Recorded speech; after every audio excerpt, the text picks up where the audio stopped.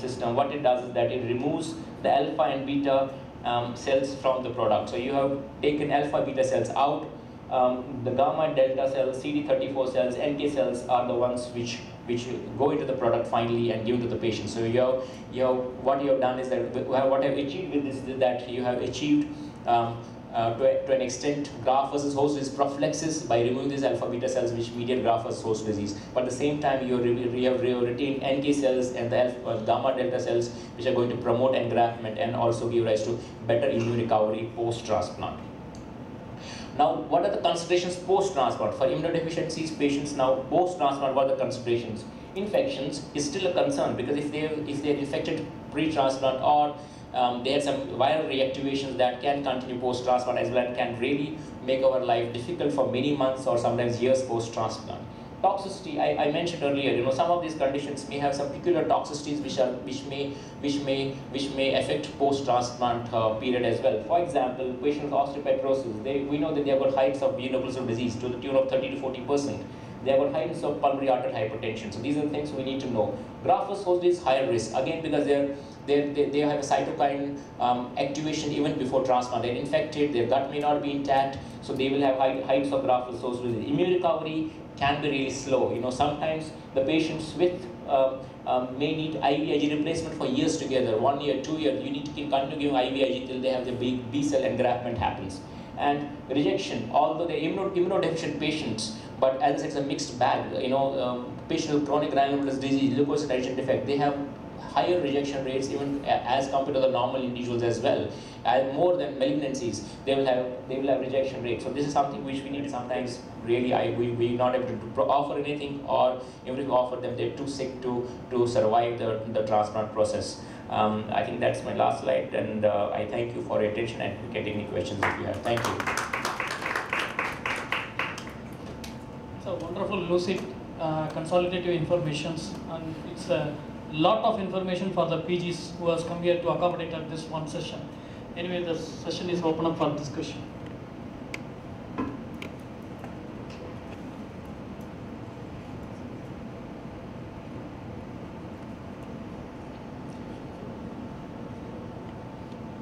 No question. I think it was either too, too lucid or it was too muddy.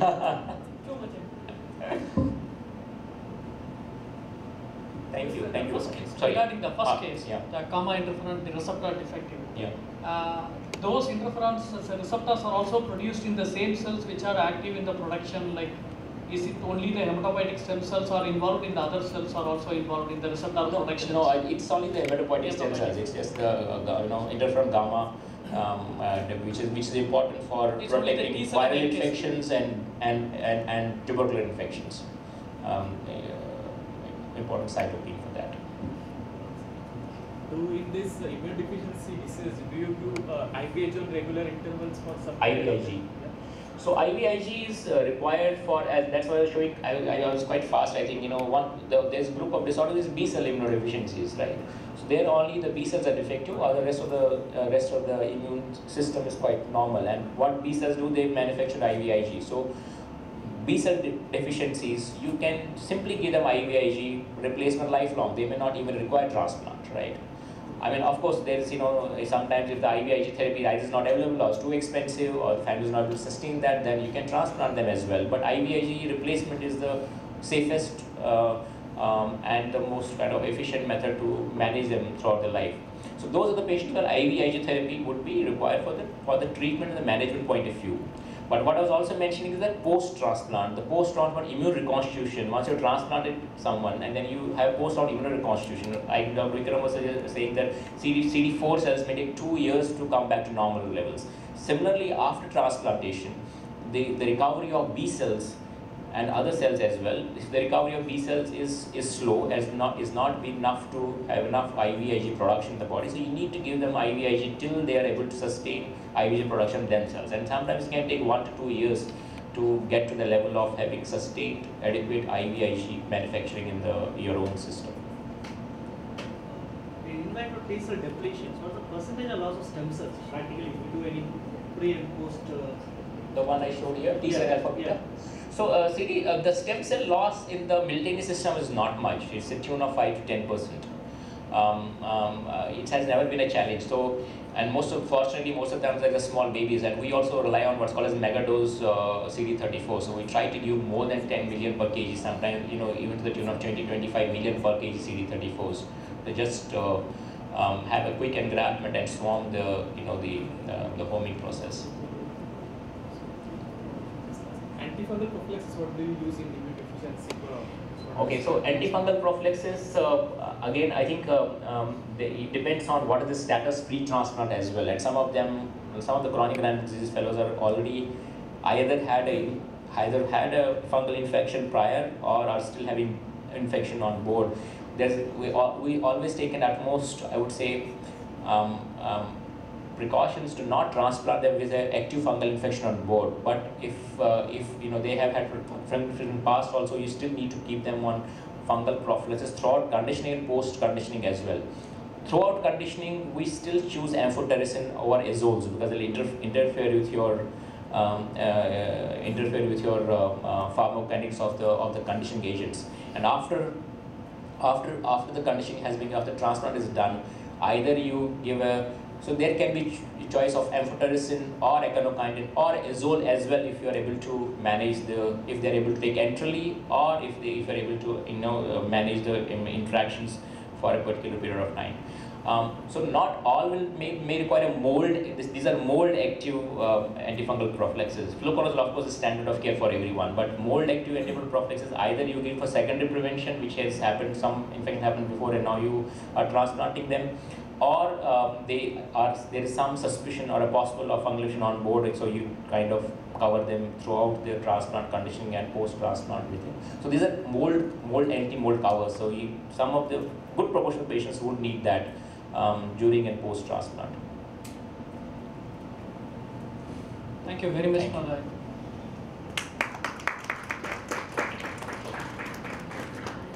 The last talk in this session is on aplastic anemia and congenital bone marrow failure syndromes and I invite Dr. Revathy. I think there's nobody in this room who does not know Dr. Revathy. She's a pediatric hematologist at uh, Apollo Specialty Cancer Center and takes a, has a great passion for uh, transplanting uh, children with various disorders and I'll hand it over to Revathy.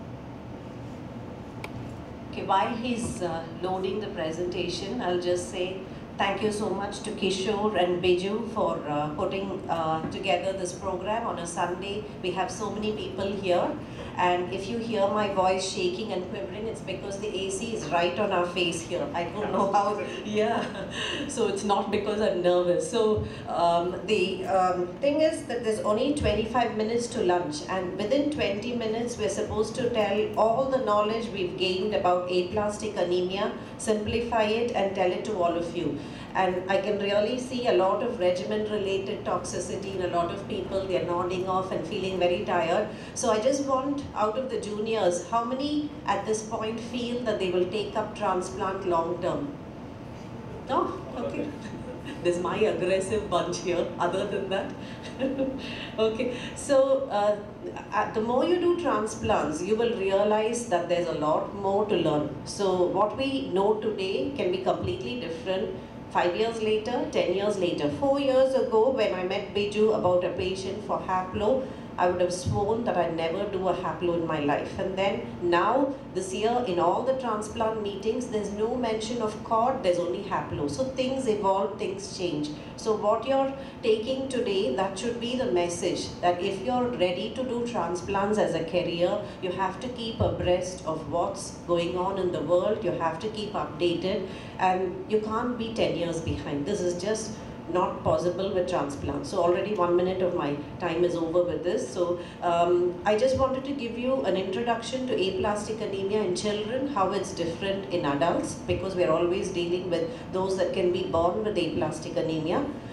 A little bit on acquired aplastic anemia, what are the principles of management, especially transplant management, and the inherited marrow failure syndrome. So just these three components.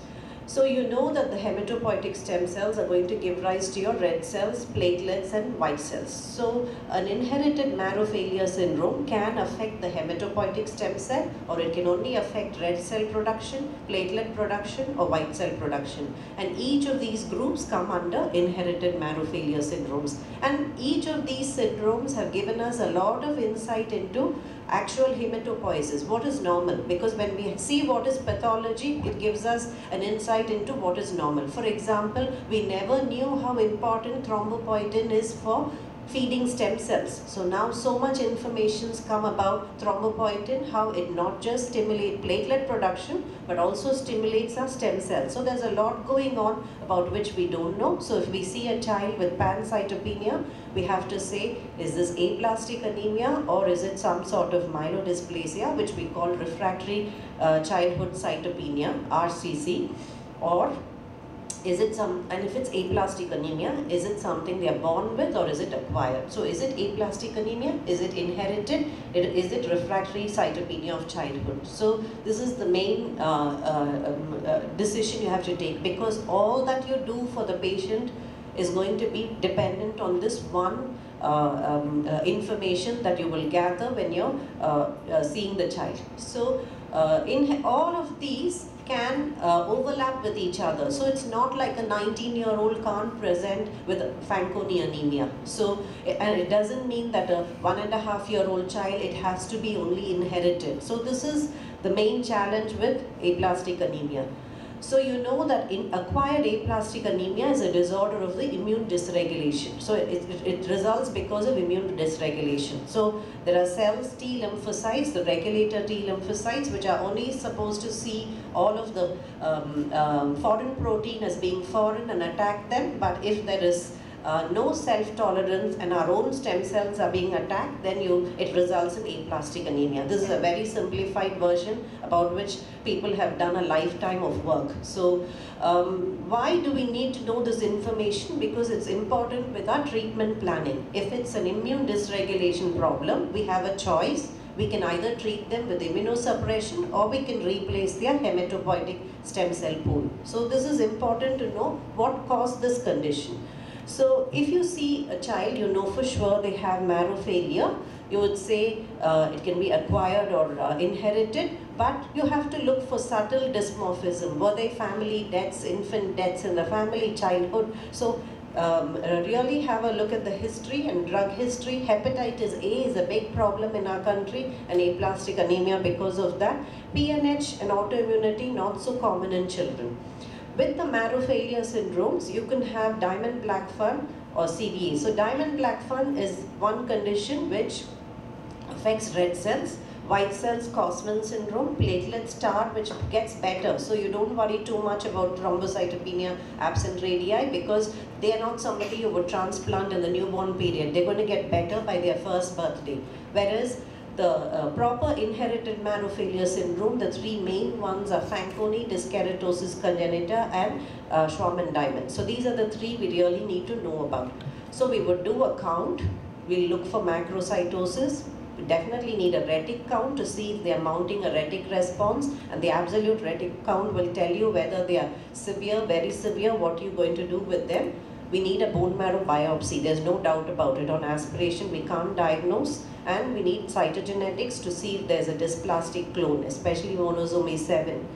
We need liver function tests to see what their liver is like, whether it's post-viral hepatitis and PNH screen and in stress erythropoiesis, when in the inherited marrow failure syndrome, fetal hemoglobin slightly elevated. So macrocytic anemia with elevated F is a sign of stress erythropoiesis in all aplastic anemia in children, we would do a mitomycin C uh, or uh, DEB, which is called stress cytogenetics. It makes a huge difference. If you have Fanconi, then you're not going to offer immunosuppressive therapy. If you're transplanting them, how you prepare them for transplant is completely different to how you would do a normal aplastic anemia. So this is the most inf important information that we need before taking up a child for transplant. Without stress cytogenetics, we wouldn't pr proceed. As soon as we see a new aplastic anemia, we have to get the HLA workup done because if there's a matched sibling donor, that is the best way forward. So apart from all of the other basic tests, you need a Fanconi screen and you need the HLA as fast as you can when you see a child with bone with uh, pancytopenia. This is a normal marrow and you can see in severe aplastic anemia how empty the marrow looks and you look for subtle signs of um, uh, um, MDS. So we've defined the aplastic anemia and we look at a boy like this who's a 16 year old who had viral hepatitis and then now come to you with a white count of 700 what are you going to do? Because these are real life situations aplastic anemia is a medical emergency. So are we going to offer this boy immunosuppression or are we going to transplant him? So this is the first question. So let's live in a world where nobody has financial constraints and you're only making medical decisions. So what is the best thing to do Immunosuppressive therapy means we'll have to give them um, uh, uh, horse ATG along with cyclosporin plus or minus um, eltrombopag. So we're going to do this or are we going to offer transplant? So you can see that there's a lot of work done nowadays to say that transplant, there's no doubt, is the first better option. So you would say that over 90% of children would do well with a transplant if they have a matched sibling donor. Immunosuppressive therapy, initially they may respond, but a lot of them have problems later. So long-term follow-up, there are issues. So that would be only your second choice. So um, there's a lot